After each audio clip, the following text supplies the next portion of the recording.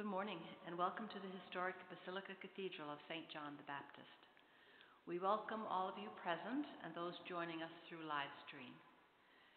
We pray that you are all in good health. We ask that all present respect the instructions given by our ushers and the guidelines in place to prevent the spread of COVID 19, including using hand sanitizers, maintaining a distance of two meters, and wearing face masks when entering, leaving, or moving within the church. At the time of Holy Communion, there will be further instructions. At the end of Mass, we ask you to exit through the door, main doors at the back of the church. Our presider today is Father Cecil Critch, and our gathering hymn is number 323 in the Catholic Book of Worship, Hark the Herald Angels Sing, number 323.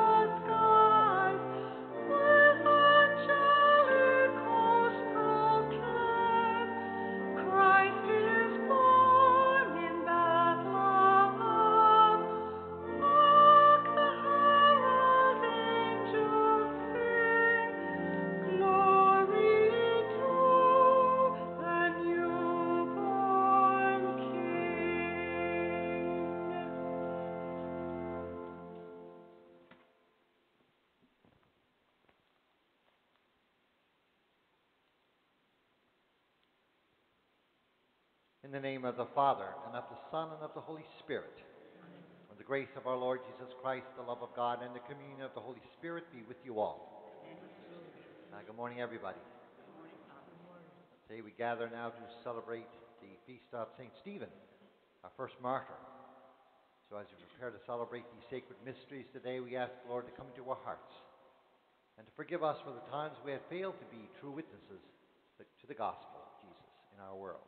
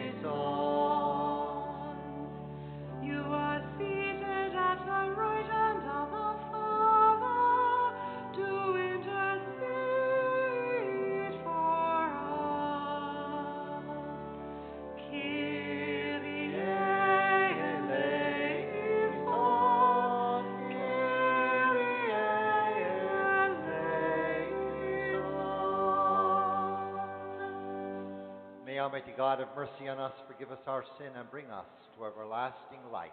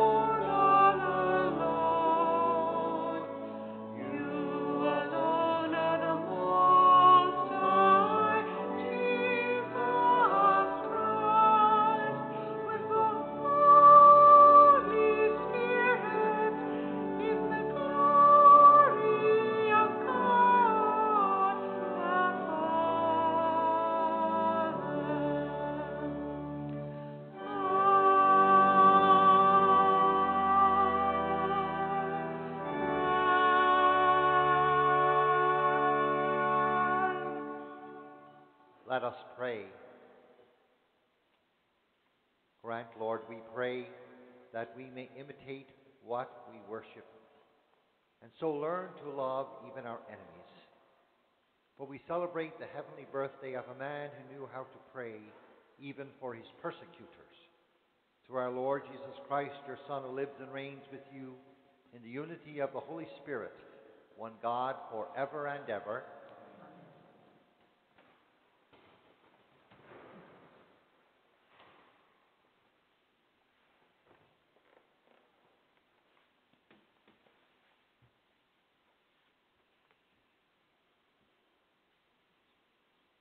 A reading from the Acts of the Apostles.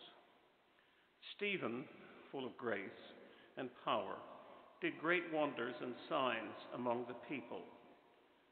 Then some of those who belonged to the synagogue of the freedmen, as it was called, Cyrenians, Alexandrians, and others of those from Cilicia and Asia, stood up and argued with Stephen.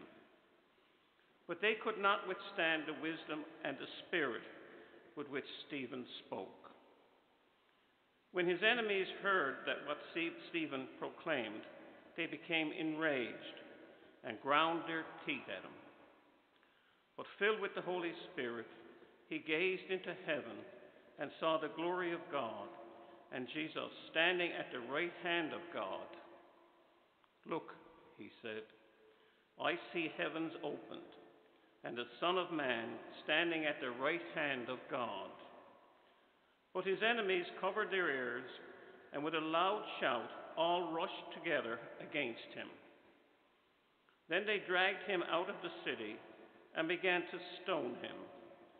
And the witnesses laid their coats at the feet of a young man named Saul. While he was being stoned, Stephen prayed. Lord Jesus, receive my spirit. The word of the Lord. Thanks be to God.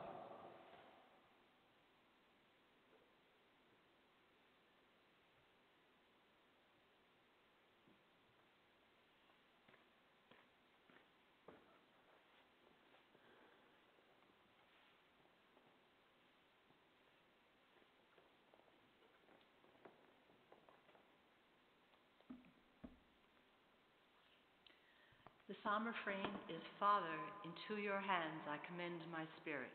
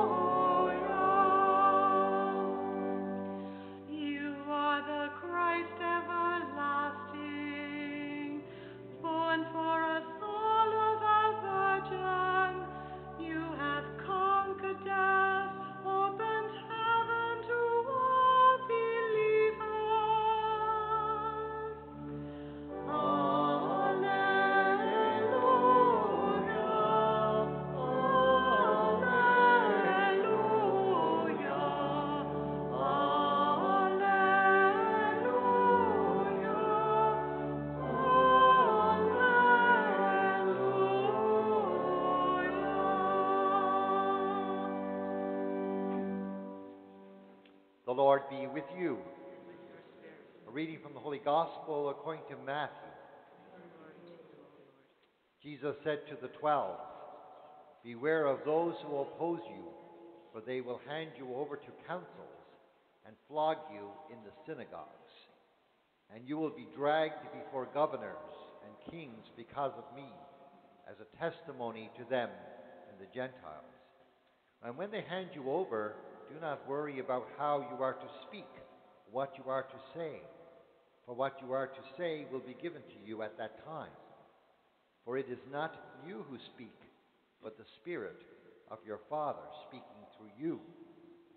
Brother will betray brother to death, and a father his child. And children rise against parents and have them put to death. And you will be handed, hated by all because of my name. But the one who endures to the end will be saved. The Gospel of the Lord.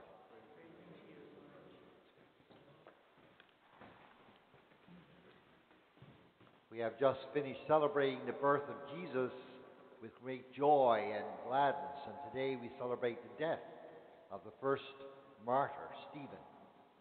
There's a big difference between the peace of Bethlehem at Christmas and the tragic death of Stephen. Jesus, the tiny baby in the manger, would lay down his life for love of us, to save us. We have to make that connection between the manger and the cross. The same mother who laid her son in the manger in Bethlehem cradles him in her arms after he was taken down from the cross. Stephen was the first witness to the faith to give his life for Christ, as Christ gave his life for all of us. The Acts of the Apostles speaks about Stephen's death like that of Jesus, very similar. Stephen died as Jesus did, praying for and forgiving his enemies, entrusting himself to the risen Lord, as Jesus entrusted himself into the hands of the Father. Into your hands I commend my spirit. Jesus, who died and rose from the dead, has taken away the fear of death. Obviously, Stephen was not afraid of death. The moment of death for believers is a moment of new birth to eternal life. Stephen died as Jesus died because, in the words of the reading, he was filled with the Holy Spirit. We have been given the gift of that same Holy Spirit, and it is the Spirit who empowers us both to live like Jesus and to die like Jesus. On this feast of St. Stephen, we pray for a fresh outpouring of that Spirit into our lives. In the Gospel reading, Jesus warns his disciple that a day will come when they will be hated by all on account of Jesus' name. And even in our own country, we sometimes feel like that because we follow the way of Christ and not the way of the world or the way of our culture sometimes. It was only a short time after Pentecost when that day came for Stephen and the many other believers in Jerusalem. We are being reminded that the birth of Jesus was not experienced as good news by everyone, even today.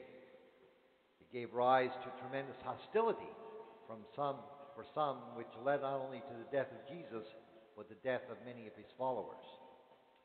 When we welcome Jesus into our lives, we are risking the same hostility that Jesus and his first followers experienced. Witnessing to the child in Bethlehem, to the crucified and risen Lord, will often mean taking the road less traveled and leaving ourselves open to rejection or ridicule. And many of you, I'm sure, have felt that. Yet Jesus assures us in the gospel reading today that the one who stands firm to the end, in spite of that, will be saved. Stephen is put before us today as an example of someone who stood firm to the end. He died holding on to the values of the gospel that had sustained him since the resurrection, since his conversion to Christ. He died as Jesus died. Stephen knows, uh, shows us today how to die and how to live and how to stand firm as a witness to the way of the Lord to the end.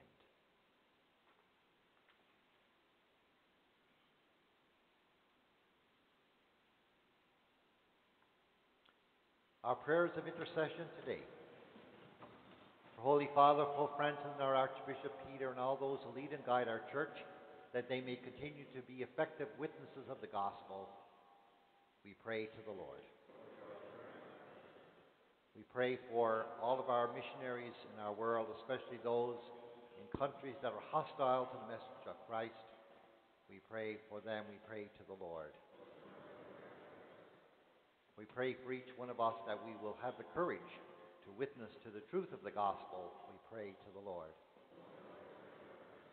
For all the sick recommended to our prayers, those in hospitals, those in homes, those who need our prayers at this time, we pray to the Lord. We pray for all of our beloved dead, those in our families, those among our friends who have died, especially those for whom we now pray.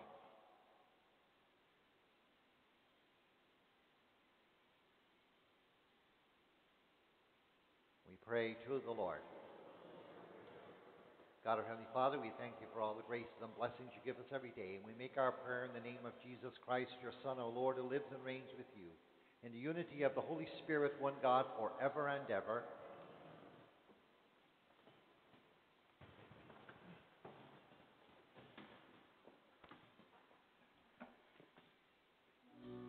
Our offertory hymn is number 338 in the Catholic Book of Worship.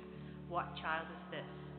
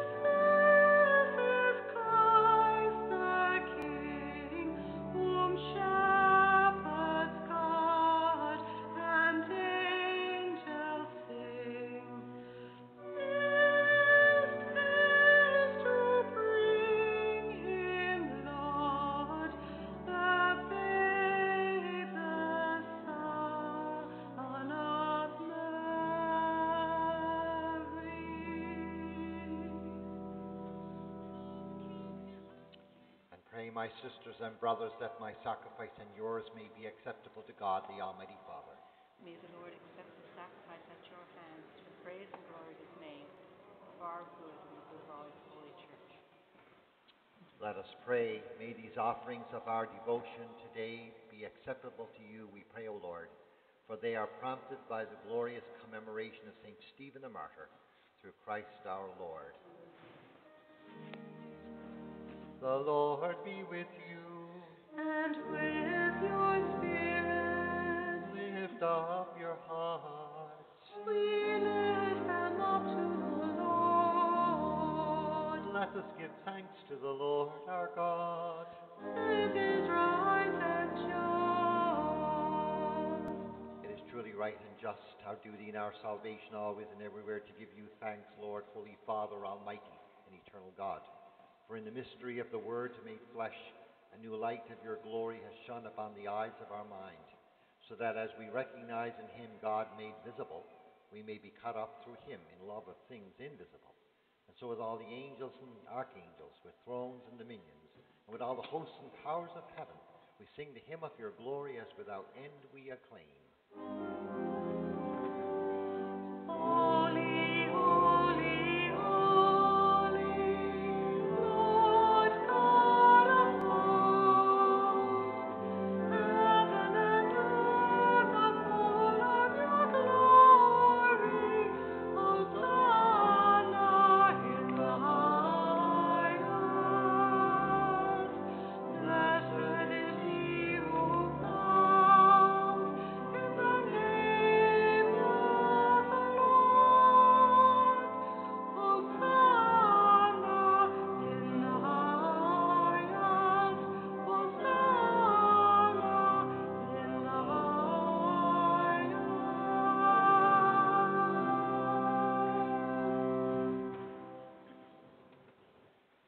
Are indeed holy, O Lord, the fount of all holiness. Make holy, therefore, these gifts, we pray, by sending down your Spirit upon them like the dewfall, so that they may become for us the body and blood of our Lord Jesus Christ.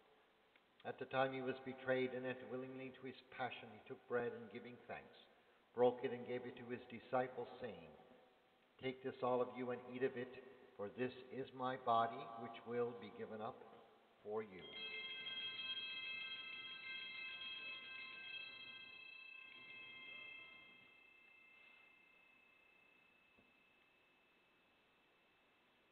Similar way, when supper was ended, he took the chalice and once more giving thanks, he gave it to his disciples, saying, Take this, all of you, and drink from it, for this is the chalice of my blood, the blood of the new and eternal covenant, which will be poured out for you and for many for the forgiveness of sins. Do this in memory of me.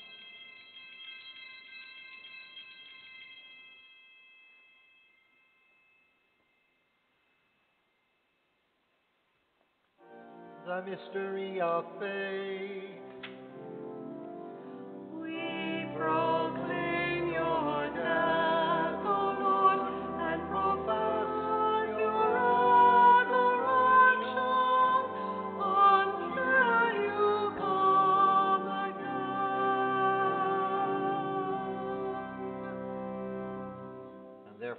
Celebrate the memorial of his death and resurrection, we offer you, Lord, the bread of life and the chalice of salvation, giving thanks that you have held us worthy to be in your presence and minister to you. Humbly we pray that partaking of the body and blood of Christ, we may be gathered into one by the Holy Spirit. Remember, Lord, your church spread throughout the world and bring her to the fullness of charity, together with Francis, our Pope, and Peter, our Bishop, and all the clergy and your entire people. Remember all of our brothers and sisters who have fallen asleep in the hope of the resurrection, and all who have died in your mercy. Welcome them into the light of your face. Have mercy on us all, we pray, that with the Blessed Virgin Mary, Mother of God, with Blessed Joseph, her spouse, with the blessed apostles, St. John the Baptist, St. Stephen, and all the saints who have pleased you throughout the ages, we may merit to be co heirs to eternal life and may praise and glorify you through your Son, Jesus Christ. Through him and with him and in him, O God Almighty Father, in the unity of the Holy Spirit, all glory and honor is yours forever and ever.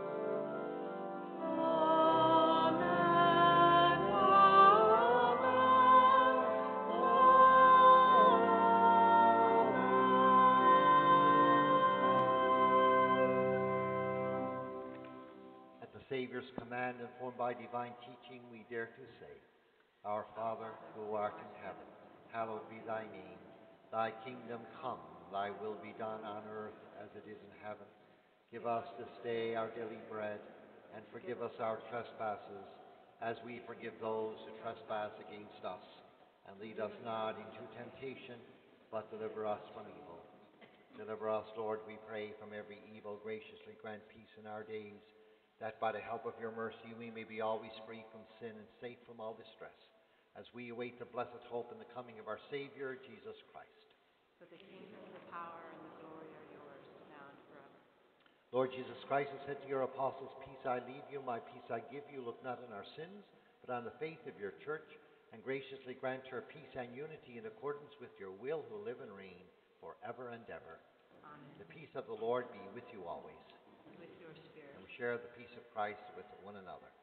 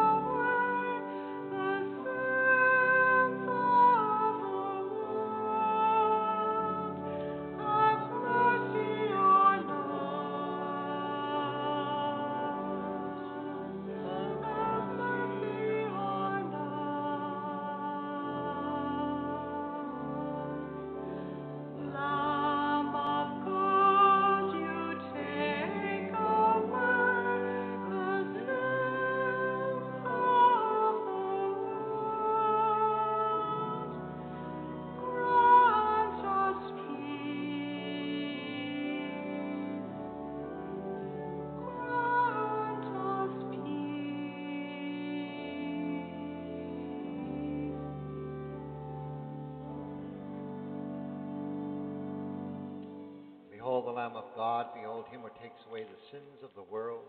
Blessed are those called to the supper of the Lamb. Lord, I am not worthy that you should enter under my roof, but only say the word, and my soul shall be healed. An act of spiritual communion, a prayer for those who are unable to receive Holy Communion at this time. My Jesus, I believe you are present in the most blessed sacrament. I love you above all things, and I desire to receive you into my soul. Since I cannot now receive you sacramentally, come at least spiritually into my heart. I embrace you as if you were already there, and unite myself wholly to you. Never permit me to be separated from you. Amen. To ensure that the reception of Holy Communion takes place in a safe and respectful manner, we ask that you please follow these instructions. Instead of individually replying Amen upon receiving the host, there will be one general attestation of Amen before distribution begins. Please remain standing in your pew until invited forward by an usher. Ensure your face mask is correctly worn before coming forward and maintain a two meter social distance in the communion line. As you approach the front of the line, sanitize your hands before receiving communion. Bow towards the host. In silence, receive the host in your hands. Step aside to consume the host and return to your pew as directed by ushers. Those unable to receive Holy Communion in the hand may come forward to receive a blessing. The body of Christ.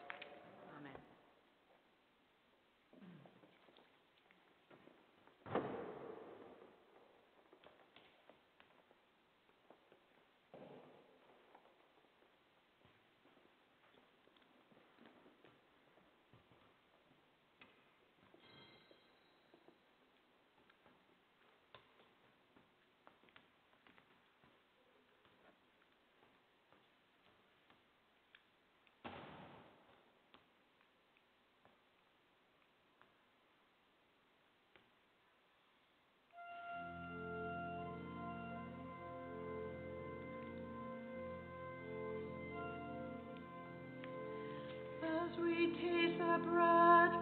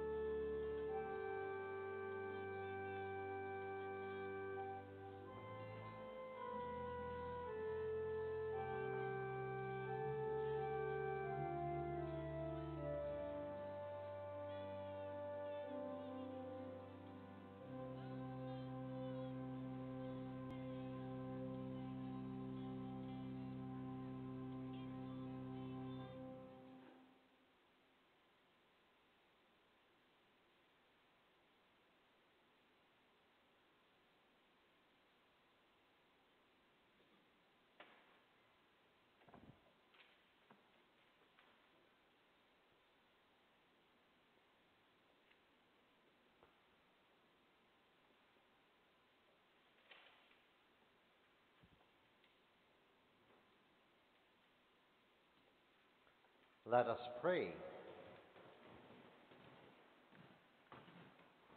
For the many mercies which surround us, we give thanks to you, O Lord, who save us through the nativity of your Son, and gladden us with the celebration of the blessed martyr Stephen, through Christ our Lord.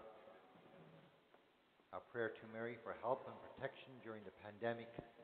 O Mary, who always You always shine in our path as a sign of salvation and and hope, we entrust ourselves to you, health of the sick, who at the cross took part in Jesus' pain, keeping your faith firm. You, salvation of your people, know what we need. We are sure you will provide so that as in Cana of Galilee, we may return to joy and to feasting after this time of trial. Help us, Mother of divine love, to conform to the will of the Father, and to do as we are told by Jesus, who has taken upon himself our sufferings and carried our crosses to lead us through the cross to the joy of the resurrection. Under your protection we seek refuge, Holy Mother of God. Do not disdain the entreaties of we who are in trial, but deliver us from every danger, O glorious and blessed Virgin. Amen. The Lord be with you. And with your And spirit. the Almighty God bless all of us in the name of the Father, and of the Son, and of the Holy Spirit. Our Mass is ended. Let us go now in peace, glorifying the Lord by our lives. Thanks be God. Have a good day. We Our missioning hymn is number 328 in the Catholic Book of Worship, Joy to the World, number 328. And we have adoration today from 11 to 12 as usual, 11 to 12 for adoration.